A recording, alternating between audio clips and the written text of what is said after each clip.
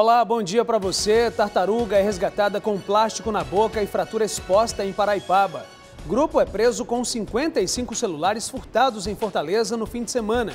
E bairro mais antigo da capital completa 419 anos de história. O JC 24 Horas já está no ar.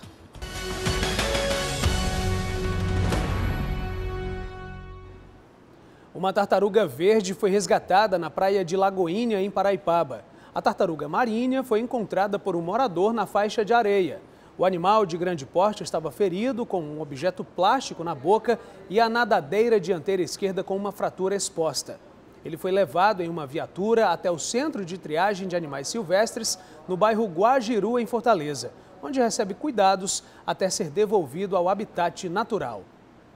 A prisão de oito pessoas levou à recuperação de 55 celulares furtados nesse fim de semana em Fortaleza.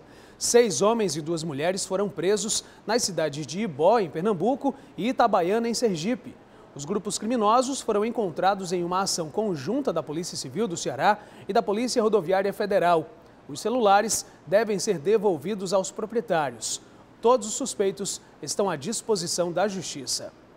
O bairro mais antigo de Fortaleza comemora hoje 419 anos de história.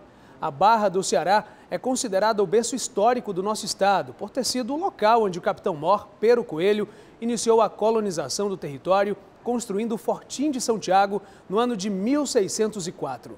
Hoje, o encontro do Rio Ceará com o mar é considerado um dos cartões postais da nossa capital. Parabéns aí à nossa Barra do Ceará.